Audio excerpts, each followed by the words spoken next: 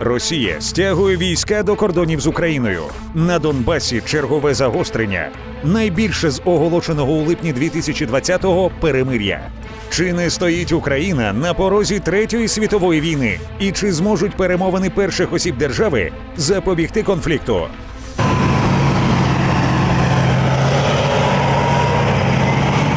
У той же час РНБО готується до нового засідання. На ньому розглянуть стратегію розвитку оборонно-промислового комплексу та запровадження стандартів НАТО. Чи оголосять нові санкції та кого вони стосуватимуться?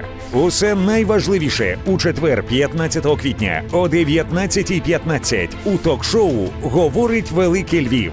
Майданчик, де отримають слово і будуть почуті абсолютно всі. В ефірі телеканалів НТА та Еспресо, а також у соцмережах проєкту. Львів мовчати не буде.